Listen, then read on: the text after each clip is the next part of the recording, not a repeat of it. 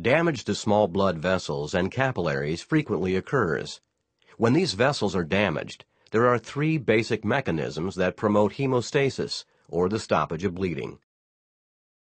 Following damage, there is an immediate reflex that promotes vasoconstriction, thus diminishing blood loss.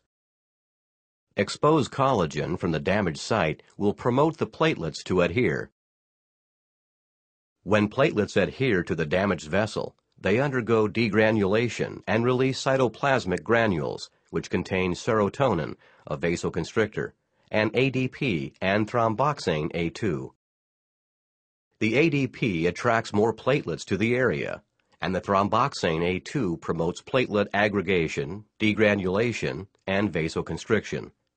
Thus, ADP and thromboxane A2 promote more platelet adhesion and therefore more ADP and thromboxane. The positive feedback promotes the formation of a platelet plug. The final hemostatic mechanism is coagulation. Damaged tissue releases factor 3, which, with the aid of calcium ions, will activate factor 7, thus initiating the extrinsic mechanism.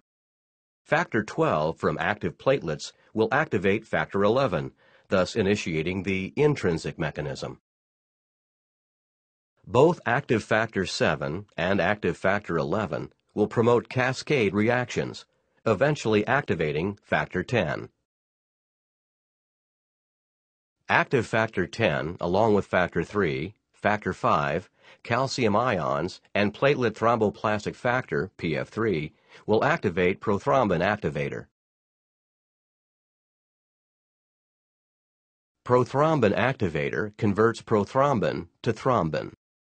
Thrombin converts fibrinogen to fibrin. Fibrin initially forms a loose mesh, but then factor 13 causes the formation of covalent crosslinks, which convert fibrin to a dense aggregation of fibers. Platelets and red blood cells become caught in this mesh of fiber, thus the formation of a blood clot.